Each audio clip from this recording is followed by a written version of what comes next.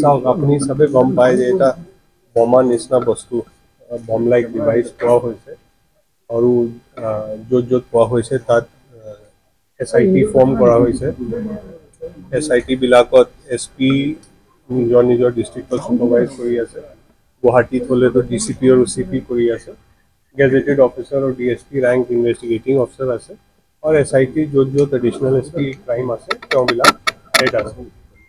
প্ৰথমটো হ'ল যে ইনভেষ্টিগেশ্যনৰ অলপ কথা পতা হ'ল number two what is the way forward because আমাৰ বেচিক কাৰ্যটো কি আছে security and safety of the state and its people.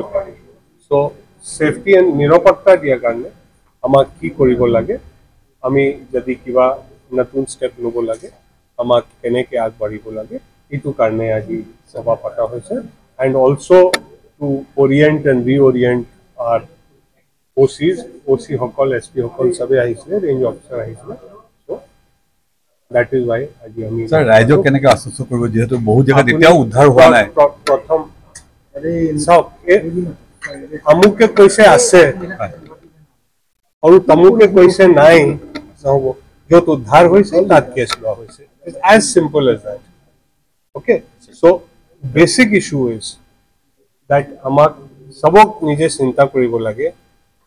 যে ৰাইজক নিৰাপত্তা দিয়া আৰু ৰাইজক ছেফটি ৰখাটো আমাৰ কাম। কিন্তু ৰাইজক ক্ষতি দিবলৈ যদি কোনোবা ওলায় তেতিয়া আমিতো আমাৰ একশ্যন ল'বই লাগিব।